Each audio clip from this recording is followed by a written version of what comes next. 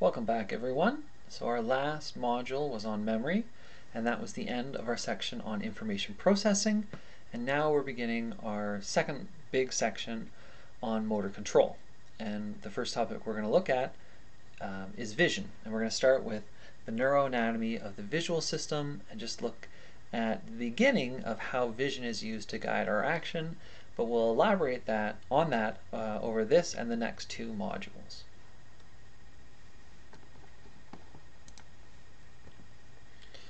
So first up, vision is important. Uh, it, amongst our other senses, is often one of the most dominant senses, the one that we rely on the most, and it can be one of our most accurate senses as well. So here, obviously for these penguins, you know, look before you leap uh, is, is an important thing for them to consider. I don't know if this is a real photo, but I do know that killer whales will eat penguins, so it's possible that this actually happened. But I do want to stress, even though uh, we're going to focus on vision, we're going to look at vision a lot, that vision is not vital. Uh, one does not need vision, and you can uh, get on fine with, with just uh, your, your other eight senses. And just a few examples of that. First off here, this is a painting of Louis Braille, the inventor of the, the Braille writing system. He himself was blind and came up with this as a better way to um, have a written language for people who are, are blind. Another great example is Stevie Wonder. So he's a musician, singer, songwriter. Let me check my facts here. He's won 22 Grammy Awards, or at least last I checked, he had won 22 Grammy Awards. He's an activist. He was instrumental in making Martin Luther King Jr.'s birthday a holiday in the U.S. And he's a United Nations messenger of the peace. And he's done all this without vision, so you don't need vision. Uh, another example, more kinesiology focused, is Marla Runyan, the woman here leading, leading the pack. In 1994, she got a master's degree, so she did that without uh, vision. So I should comment uh, on Marla here. She is legally blind, so she does have some vision.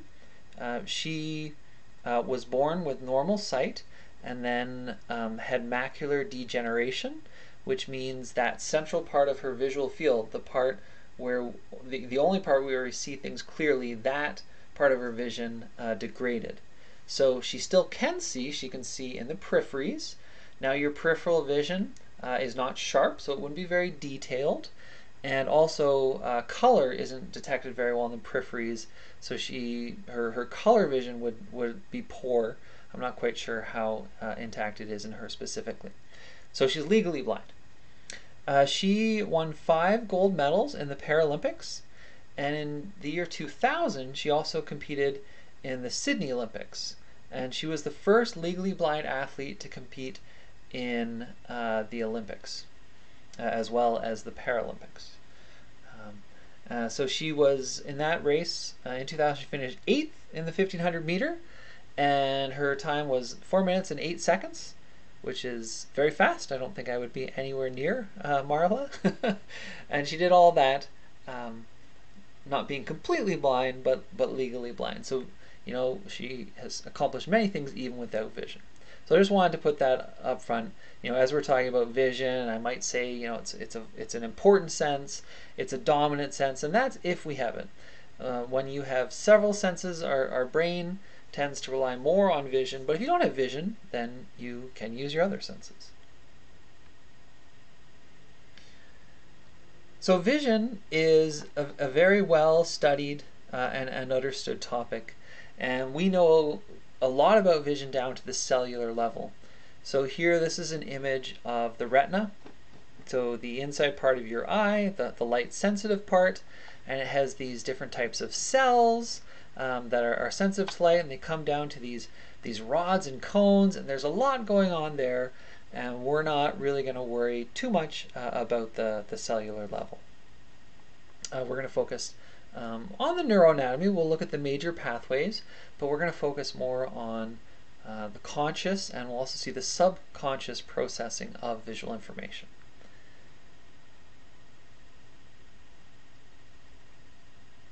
So here we see a schematic of the neuroanatomy of the, the visual system. And I've put a star on this slide because uh, this, is, this is an important diagram and you'll likely see something like this uh, on, on a test. So, first of all, we have, uh, imagine you're looking ahead to your visual field and this is kind of color coded. So imagine you're looking straight ahead and this is a weird room and for whatever reason, everything to the left of where you're fixating happens to be red and everything to the right of where you're fixating happens to be green. So that's weird, but we're just using that to illustrate the organization within the visual system. Now we've already talked about how anything you see to the right of fixation is going to go to your left primary visual cortex. So you can see that green wall to the right of your fixation ends up going to your left primary visual cortex. And the red wall that you see to the left of your fixation, that your left visual field, it ends up uh, going to your right visual cortex. So again, we're seeing the crossing of the input. But we're going to track this pathway uh, more precisely now. So these lines here represent light bouncing off of the wall and hitting your retina. So information from your left visual field will go to both eyes and in in the left eye it hits this side of your retina. It's called the the, the nasal uh, side because it's by your nose. And then this side over here, we call that the temporal side because it's by your, your temporal bone. Now, you might be thinking, well, both eyes, once you're really far into the peripheries, then yes, it's true that only one eye, so only my left eye sees my left hand and only my right eye sees my right hand. We're not going to worry about that. We're going to just deal, we're going to, we're going to restrict ourselves to thinking about the part of our visual field that the left eye can see my left hand and my right eye. Oh, I have to move a little further. and my right eye can see my right hand. So we're not going to worry about the very periphery. Yes, we're only uh, one eye would see that. We're going to deal with more centrally where this left hand can be seen by my left eye and by my right eye. So that's the left visual field and it's seen by both eyes. Uh, both retina receive rays of light that bounce off that, but they hit different sides of the retina. Uh, and then things in the right visual field, they're going to hit the opposite sides of those retina. So here it's going to be the temporal side of the left retina and the nasal side of the right retina. So after the retina, that information travels down the optic nerve. So that's this part of the nervous system here. And this happens to be your second cranial nerve, so cranial nerve 2. Then this information uh, arrives at the optic chiasm, and that's this structure here, and it looks kind of like an X. I believe chiasm means X or, or crossing in Latin. And you can think of this as kind of like two highways meeting, and this is where uh, the information is then going to get organized. So after the optic chiasm, note how now those green pathways, information from the right visual field, they're now on the left, and those red pathways that started from the left visual field, they're now on the right. So the optic chiasm is where the um, action potentials get organized and they, they cross so that everything we see in the right is now in the left uh, hemisphere and everything we see on the left is now in the right hemisphere. So after the optic chiasm, these pathways here are called the optic tracts and they continue to the lateral geniculate nucleus. So there, there's one here on the left hemisphere and there's one here in the right hemisphere. There is a, a, a, divergence here. So there's one pathway that goes off this way. This is our subcortical pathway because it's going to the subcortex and then uh, with the dashed lines here. And then we have the cortical pathway because it remains within the cortex. So let's follow, follow the cortical pathway first. So from the lateral geniculate nucleus in either the left or right hemisphere, it travels uh, through the hemisphere, and these are called optic radiations. And that takes uh, the information to its initial destination, we'll call it, uh, the, the primary visual cortex. So here on the other hemisphere, we have the optic radiations going to the primary visual cortex in the right hemisphere. Now, the primary visual cortex, or V1, as you, you may see it described sometime, is not the be-all, end-all of visual processing, it's merely the beginning. And in a bit, we'll look at higher levels of visual processing within the brain. Let's go back to our subcortical pathway, so shown with the dotted lines here. So from the optic tract, the cortical pathway goes to the lateral geniculate nucleus and lateral geniculate nucleus and then on um, to the primary visual cortex. The subcortical pathway from the optic tract, instead of going to the lateral geniculate nucleus, goes down here to the superior colliculus within the brainstem, and that could be in, on either side of the brainstem. And then that infor information travels up a little to the pulvinar nucleus. And what we'll look at in a little bit is what are the roles of these two pathways? What does the subcortical pathway do for us? And what does the cortical pathway do for us? Uh, but that's jumping a little bit ahead. Ah, one last note I want to make on the division between these two pathways is you might be wondering, well, how much of uh, visual information goes cortically and how much subcortically? So 90% stays cortical and 10% goes subcortical. So you might be thinking, okay, 10% going subcortically, that's maybe not very much. And although it's a lot smaller than 90%, that 10% of subcortical visual information is still more than the entirety of, of the information within the auditory pathway. So although it's only 10%, it's still a significant uh, uh, amount of neurons and amount of processing occurring uh, within the brain. So here's uh, just a few more views of the neuroanatomy to the visual system. And on a test, uh, it will be this diagram. These other diagrams or, or figures I just want to show you to give you a better appreciation for what this looks like. So here are the eyes uh, cut in half for whatever reason. So these would be the retina here. And then the, this is the optic nerve. So one for the left eye, one for the right eye. Here they are meeting at the optic chiasm. So that's that X structure. And if you looked at the brain from the bottom and pulled it apart a little bit, that the optic chiasm is, is quite a visible structure. And then going uh, out from the optic chiasm would be the optic tract. Here's a picture of the brainstem, and there's you know a lot of things here, but I've highlighted the important ones. So this is the optic nerve, it's being cut, so if, if it uh, went out further that would go to the eye, but they're coming in, we're just seeing a little bit of the optic nerve before it gets to the optic chiasm, and then these would be the, the optic tracts here. Here again we're looking at uh, the brainstem, but we're, we're looking at the back of it now. And one prominent feature are these four bumps at the back here. And these two, one on each side, these are the superior colliculi. So we talked about how uh, the subcortical pathway goes down to the superior colliculus. And then the, the, the lower two are actually the, the inferior colliculi, which um, are not um, highly involved in the visual processing. So we won't uh, talk too much more about them. Here's an actual brain, and part of the uh, this, this hemisphere has been remo removed so that we can really clearly see the optic nerve. Um, sorry, the optic nerves would be here and here. They've been being cut, but normally these would continue, and then you'd have an eyeball.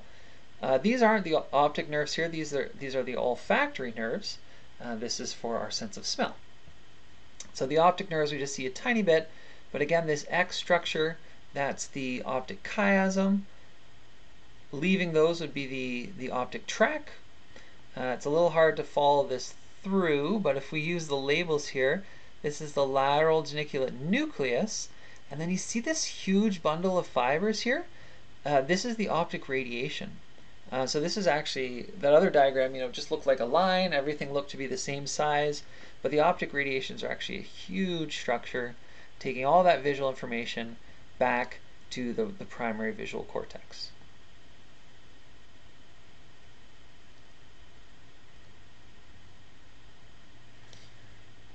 So this is a view uh, where the primary visual cortex has been highlighted.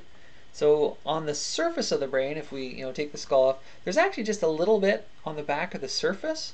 But if we have a cross-sectional view of the brain, uh, the the primary visual cortex extends you know deep within the cortex. So really only a little bit's visible on the outside, and then a lot of it continues on uh, inside. So it's the primary visual cortex, sometimes called V1. Uh, other names for it are the calcarine fissure, uh, which is the name of this this fissure here, or this uh, this kind of tunnel or groove. Um, so because the primary visual cortex straddles the calcarine fissure, it's sometimes uh, given that name, uh, also called the striate cortex. And lastly, another interesting one is it's also Brodmann's area 17. And I don't know if you've heard of Brodmann areas before, uh, but they're they're kind of interesting. So many years ago, I really wish I had written in my notes how long ago this was, but uh, there was a researcher named Brodmann who studied the brain, and this is a long time before things like fMRI, and what he had at his disposal was a microscope. So he looked at the brain with a microscope, and he looked at the, the cellular architecture. He looks in a microscope, what do the cells look like? And uh, we know far more now about the cellular architecture of the brain, but what Brodmann did is he just looked, and whenever the cells changed, so maybe a, suddenly a new structure appeared, maybe there was a new layer, maybe uh, a layer was now uh, bigger than it used to be, he gave that um, area a new number. So I don't know if he started in the middle of the brain, but Brodmann's area, uh, areas 1, 2, and 3 are the somatosensory cortex here, and 4 is the primary motor cortex. Um, and Brodmann didn't know that, but he just looked at this area and it had a, a, certain distinctive cellular architecture to it. And then when he moved forward a little bit, it changed. So he said, okay, I'm going to call this, uh, you know, 1, 2, 3. There's probably some small variations in 1 versus 2 and 3. And then 4, he said, oh, all of a sudden it's very different and it's, it's all the same through here. So he was, was delineating the, the structure of the brain. And the neat thing that we now know is that the structure and the function of the brain are highly correlated. So whenever the structure changed, then the function likely changes as well. So even though this was done a long time ago with just a microscope and a, um, you know, definitely not the deep understanding and, and complex tools we now have, Brodmann numbers still exist because the structure of the brain um, uh, still tells us something about the function of the brain. So for example, what he labeled area 4 we now know is the primary motor cortex. And area 17 happened to be uh, back here, uh, which is the primary visual cortex. So sometimes you'll see it referred to as uh, Brodmann area 17. And there's many more examples of, of his, his numbering within the brain that, uh, that, that still uh, delineates the, the function of specific areas, even though Brodmann had no idea of that. He could only study the structure.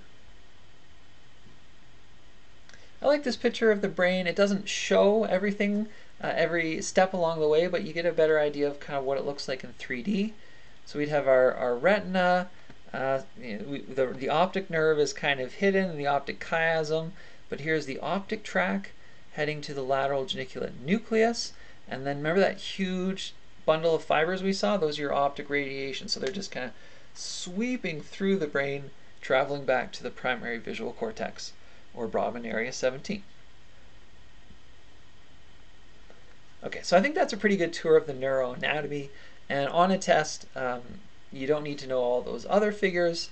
Um, it, it, it, would be either this diagram or there's actually one more, more uh, a schematic based one of the, the visual system that we'll see a little bit later.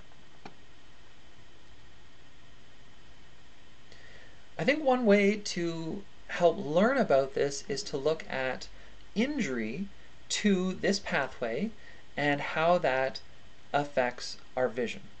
So it's one thing to say, yeah, you know, it goes from the right, goes through all these structures. Uh, but, but if we start to think about, well, what if you damage your optic radiations?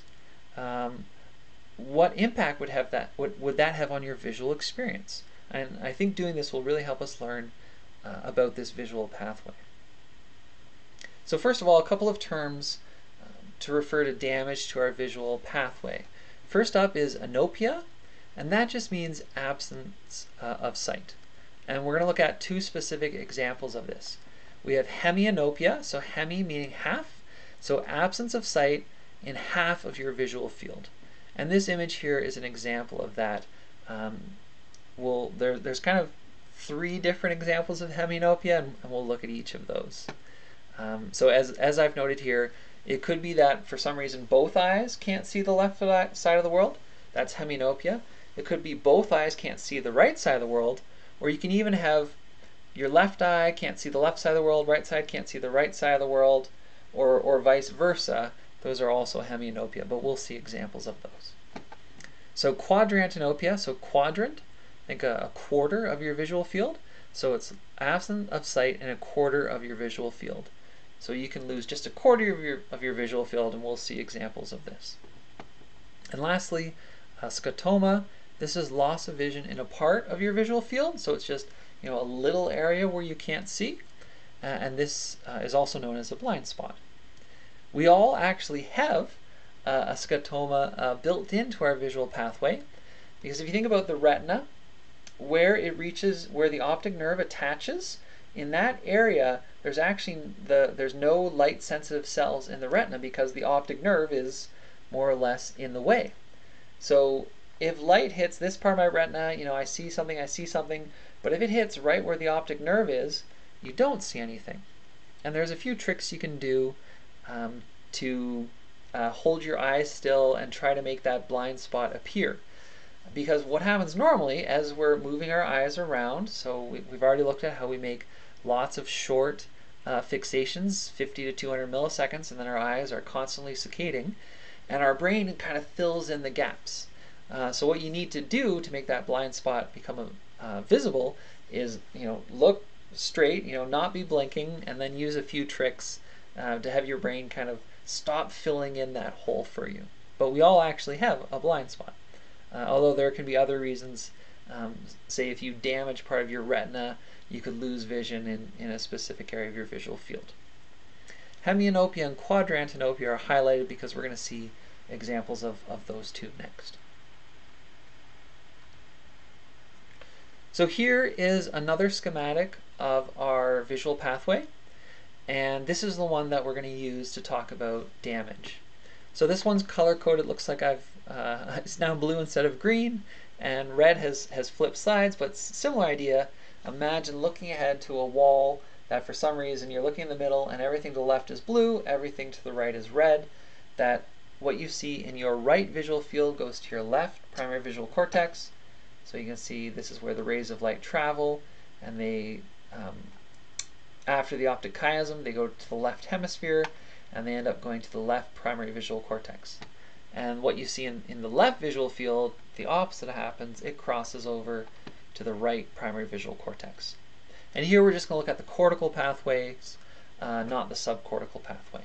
So here's the lateral geniculate nucleus, and we're going to talk about everything traveling down the optic radiations to the primary visual cortex. We're not going to worry about how some information does go from the optic tract to the superior colliculus. We won't worry about that right now.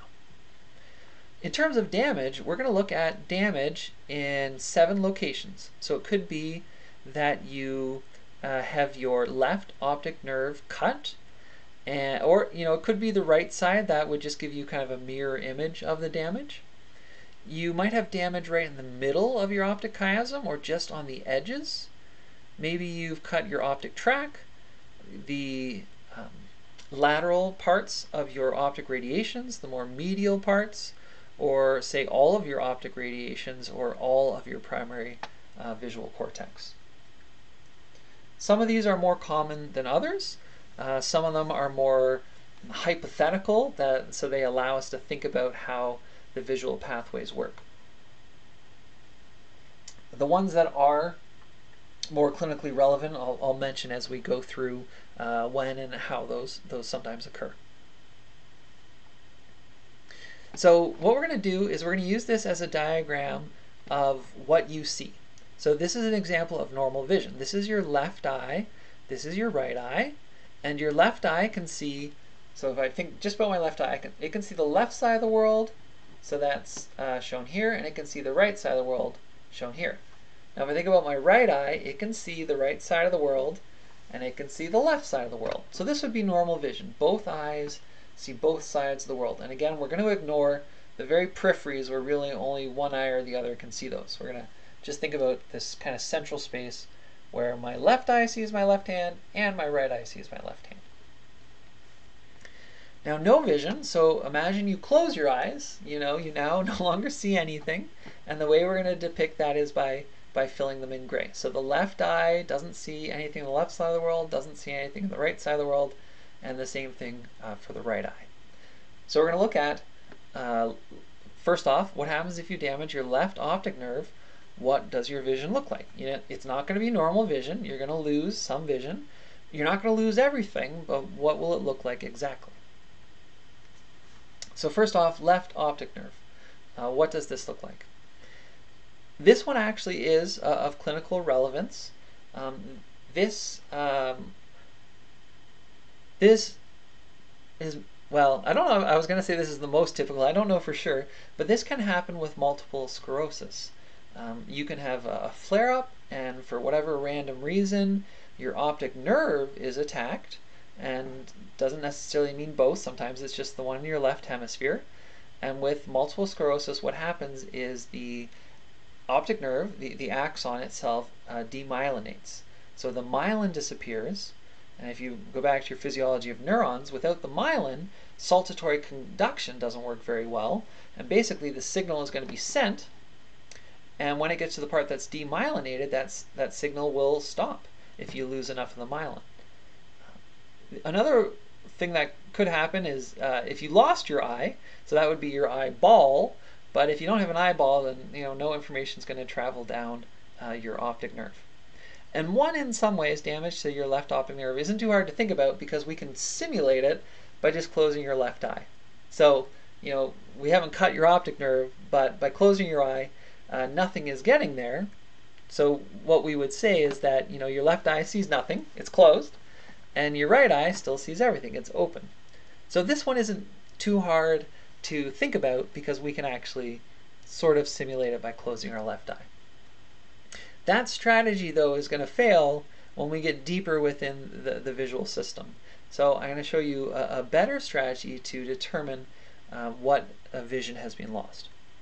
And this method uh, is, is kind of drawing back from the damage to the world to find out what has been lost. So let's do this one over with this new drawing back strategy. So we're, we're talking about number one, uh, a, a cut through your left optic nerve. So we need to, to look at one side of damage at a time. So we've cut this blue pathway and this red pathway. So let's start with the blue pathway. You could start with either, but we're just going to start with the blue one. And we want to trace this back to the eye. Here we don't have to go very far. So this cut goes to the left eye. So that tells us we're going to lose something in our left eye. To figure out which side of the eye it is, we need to then follow this pathway back to the world. So from the left eye, it goes to the left side of the world. So in the left eye, we are going to lose vision in the left side of the world. So that is, is the first half of the damage here. So that's only the first half because we just looked at half of this uh, damage pathway. Now let's do the red one. So we're going to trace it back to the eye. We don't have to go very far again, but this goes to the left eye. So we're going to have damage to our left eye. Which side of our left eye is it? Well, we need to figure out um, which side of the world this retina sees. We follow this line, and it allows us to see the right side of the world. So the damage is in our left eye and it's the right side of the world. So we're going to lose this half of our visual perception. Oops. So that is the tracing back method. And although one, you can just say, okay, I close my eye, I don't see anything in that eye. This tracing back method, though, will allow us to map out damage to 2, 3, uh, and 4, um, which number 4 we can't really simulate, so this is going to be very handy. 5, 6, and 7, there's a, a little bit of a caveat there, which we'll get to. Okay, let's try this again, but for damage to 2. This one is probably more hypothetical. It would be odd for you to have an injury that takes out just the outside of both sides of your optic chiasm. So this pathway is cut and this pathway is cut, but the middle is intact. Number three will be the opposite. Three we'll look at when the middle is cut. So it'd be very weird uh, for this to happen. You know, maybe you get a pin that goes in both sides of your head. You know, that's weird, right? But this is just um, more theoretical to help us under understand this pathway. Okay, so we're going to have to figure out what we lose from this cut to our pathway and what we lose uh, from this cut to our pathway. So I forget which one I do first. Okay, here we go. So let's look at the left side first. So we're going to trace this back to figure out which eye is affected. It's the right eye, so it's going to be the right eye. We've lost one of the hemispheres to our right eye. Which side is it of our right eye? Well, it's the left side of the world. So we go to our right eye, and we're going to lose the left side of the world. That's the first half of the damage. Now we need to, to trace this pathway. So we've also cut this pathway here, and we're going to trace this back to the eye. Okay, that goes to the left eye. Oh, this should still be grayed out. I hope it reappears in a moment. So we're going to lose something in our uh, in our left eye. Which side of the world is it? Well, it's the right side of the world. So we're going to lose vision here. Okay, good. Both grays turned back on. I'll try to fix that before I upload the slide. So if uh, you've damaged the outside of both of your uh, of, of your optic chiasm, you would have hemianopia in both eyes. So your left eye only sees the left side of the world, and your right eye only sees the right side of the world. So both eyes have lost half of the visual field. And we'll come back in a moment to um, demonstrate, you know, what this what this would mean for your visual experience. Using that tracing back method, what I'd like you to do is, um, in a moment, pause the video and see if you can go through that procedure again for number three and for number four. So give it a try. Um, and if, if you have trouble, maybe rewatch how we did one and two. Uh, but if you're still really struggling with it, then um, in, in a moment I'll show you the answer uh, and hopefully that will uh, formalize this process for you.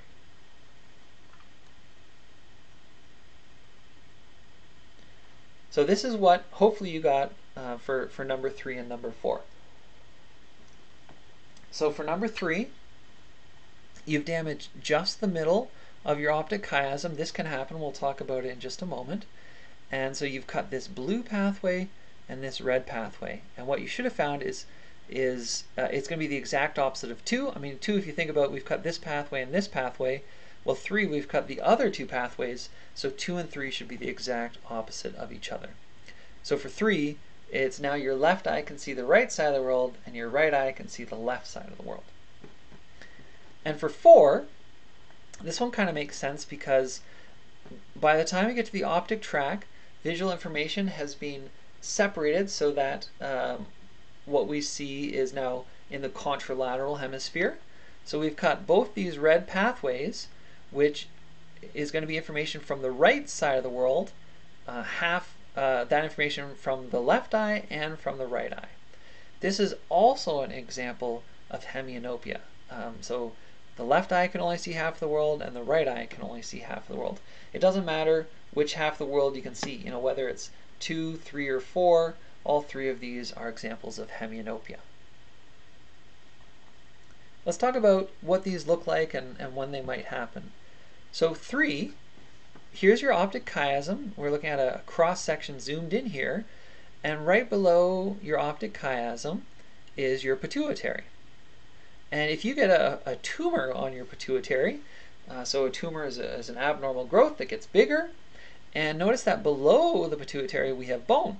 So the tumor can't go down anywhere, it hits bone, so it's going to push up. And it's going to push up on just the middle of your optic chiasm. And if you think of your, your nerves kind of like pipes, like a, a garden hose, if you push those too much, you know, the water is not going to be able to flow anymore. For a nerve, if you compress them too much, the action potential won't be able to travel through there. So number three can actually happen when you have a tumor on your pituitary that puts pressure on the middle of the optic chiasm, taking out um, those signals. So it's not necessarily that the middle of the optic chiasm has been cut, but the neurons, uh, the communication of the neurons has been impeded by that pressure. So what would number three look like? So with both eyes open, you would actually see the whole world relatively normally. So on the peripheries might be a little different, but we're not going to worry about those. Now, why is that? Well, it's because your left eye can see the right side of the world, and your right eye can see the right. Oh, I think I've mixed up. Let me try that again. okay, your left eye can see the right side of the world, and your right eye can see the left side of the world. And your brain is always stitching together the visual information from both eyes. So each eye can see half of the world. So together, you consciously perceive the whole world. That's with both your eyes open.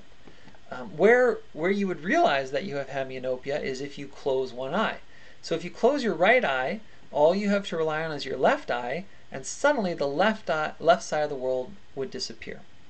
It probably wouldn't be as drastic as you know a straight black line, but it would go from you seeing to not seeing quite quickly. So you know maybe a bit of a, a gradient or a transition in the middle. I'm just trying to be very uh, cl clear between our, our left and right visual field distinctions here.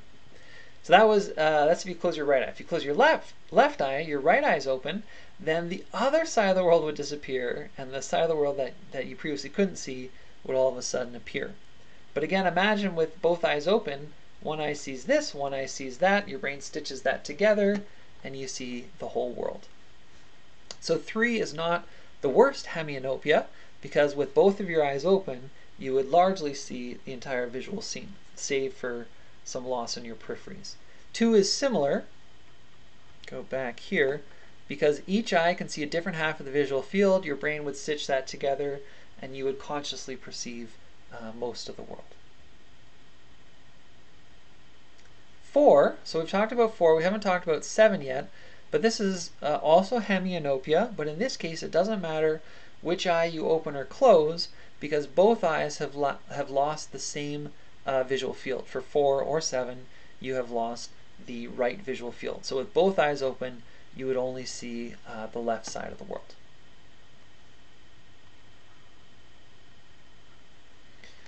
Let's look at 5, 6, and 7, and this is where the caveat comes up, and tracing it back doesn't work perfectly. And it's because there is a nucleus here, the lateral geniculate nucleus, that the optic radiations go through um, and then, well, I guess we're going backwards here, but the optic tract goes to the nucleus, then to the optic radiations. And this schematic is a bit simplified. See how it kind of looks like this goes here and that goes here? It's not actually the case. The nucleus, there's a, a lot of, of routing of information. So 5 actually connects to this pathway and that pathway, and 6 uh, likewise connects to that pathway and to that pathway. And I, I tried changing this figure to put those on and it, it just gets too complex. Uh, but because 5 and 6 connect to both of those um, pathways, tracing it back doesn't quite work. So what we need to remember for 5 and 6 and later for 7 is that 5 and 6 are very similar to 4. Uh, so 4 which we see here. But 5, these optic radiations are the ones that are a little more lateral and a little more superior in the brain. And those ones actually see the upper part of our visual field. So if you take those out, you're going to lose just the upper part of the visual field on, um, uh, on the right of both eyes. So 5 is like 4, but it's just the top corner. So basically, this is our first example of quadrantanopia. And 6, those are the optic radiations that are more medial and inferior, and they're going to see the opposite part of the visual field. They see the lower part of the visual field. Ooh. Okay, well, I guess we'll come back to that in a second. What would 5 look like? You, um, even with both eyes open, because both eyes have lost the same quadrant, you would not see the upper right visual field very well. And again, it wouldn't be this, you know, distinct line, but uh, a gradient from, you know, vision to no vision. And this would be most extreme when your eyes are still.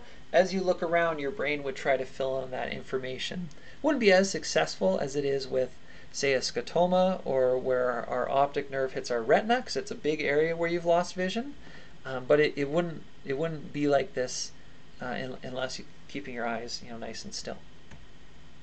All right, back to six. So six, again, it's like four, but now these optic radiations are just the lower part of the visual field. Now 7, 7 is really going to be the same as 4, because 4, we've cut both of these red pathways. 7, we've cut both of these red pathways. The only difference is that it's a little further along the visual pathway, but the result is the same. Uh, you're going to lose vision um, in both eyes in your uh, right visual field. So 4 and 7 are actually uh, symptomatically identical, there is going to be a, a difference between them uh, later, and I would argue that it would actually be better to have uh, your damage further in your optic pathway. So 7 is better to have than 4, and that's because, remember this, this pathway, the, the subcortical pathway? If you damage 7, that subcortical pathway is intact. If you damage 4, uh, you've probably lost it, the information that goes subcortically from the optic tract to the superior colliculus. And we'll talk about what that pathway uh, does for us a little later. Ah, yeah, so here again, 4 or 7, um, you are, even with both eyes open or either eye open, you're not going to see anything in your right visual field.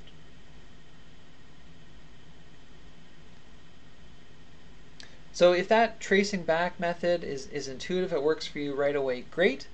Uh, if it doesn't, I, I find some students have more trouble with it than others, then you know go back through this video, try doing them again yourself.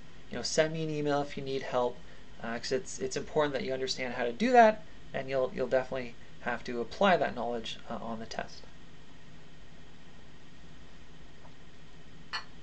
So so far, we focused on this cortical pathway from the retina to the lateral geniculate nucleus to the primary visual cortex so, you know, we've, we've skipped a few structures in here. And we talked about how vision makes it to the primary visual cortex. But that is not uh, the end of visual processing. You know, it, it's really just the beginning. I'm just moving my slides ahead here. Okay. So we, a lot of the brain is involved in visual processing. There's lots of visual areas in the occipital cortex, and then as we move forward to the parietal cortex, to the temporal cortex, we also start combining visual information uh, with other information to, to understand um, our world in a multisensory uh, sort of way. So V1, primary visual cortex, uh, it sends information to V2, which sends information to V3, to V4, and V5. So information can be sequential through these areas in some cases, but notice how V1 also sends information directly to V5, so there's a lot of parallel processing going on in the visual system, which makes it very challenging to understand. Another thing that we see besides parallel processing, so V1 goes both to V2 and V5, V2 here, see how it connects back to V1? So V1 is going to process um, very basic visual information, goes to V2, and kind of the higher it goes, uh, the higher order aspects of vision that are processed. So we'll see later on in the brain uh, you start to um, decode color or movement. Whereas very early on, it might just be um, being able to see a transition between you know light and dark or an edge. You know, very simple uh, visual uh, features. Uh, so it is sequential sometimes. There's also parallel processing. There's reciprocal connections where V2, based on what it sees, from what V1 sent it, it then sends information back to V1 to change its subsequent processing. So it's very complex. It's a bit of a divide and conquer strategy. So each area um, has some specific functions, and we'll talk about some of the areas that do very specific things. So we'll look at uh, color processing and we'll look at uh, motion. Which areas do those and what happens if, if we lose them.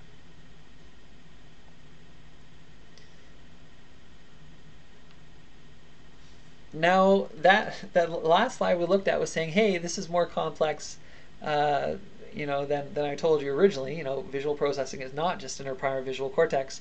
Well, that slide was also simplifying things. So this is a much more realistic schematic of visual processing. I think this is actually from uh, a monkey or, or a primate. Um, but visual processing in, in primates is, is very similar uh, to humans. And you can see here, uh, so there, there's our primary visual cortex, for example, but these areas are crazy interconnected. There's a lot going on, uh, which makes it very challenging to understand. You know, the brain is very complex, uh, and something as complex as visual processing that involves a lot of the brain is also going to be very complex. So it's it's very challenging and uh, exciting to study because of this complexity.